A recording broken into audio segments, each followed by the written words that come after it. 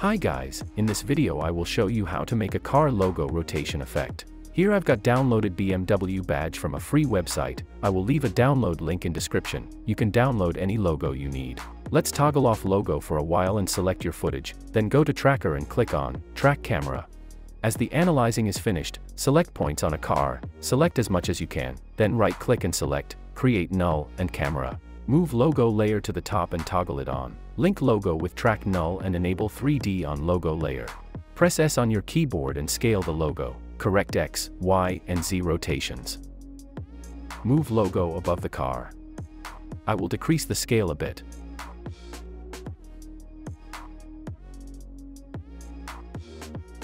Nice, logo is well tracked with a car. Let's animate the rotation. Go to very beginning of the video and press R on your keyboard.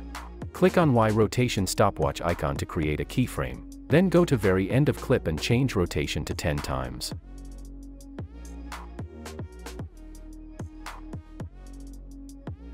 Enable motion blur on a logo layer and we are done.